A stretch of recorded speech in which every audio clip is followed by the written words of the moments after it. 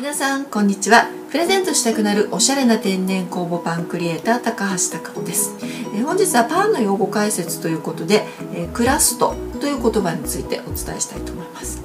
えーと、クラストというのはですね、まあ、パンのあの表面とか皮の外側の部分のことを言うんですけれども、まあ、よくクラストとクラム内装のことはクラムって言うんですけどもあのハード系のの時にねあの外側がうまくいったいかないっていう時にクラストが良かった良くないとかっていう話とかありますよね。食パンの場合とかあの耳って言われるねあの辺りがあのクラストになってくるんですけれどもあのまあここのクラストの出来の良さをどうだったっていうのをよく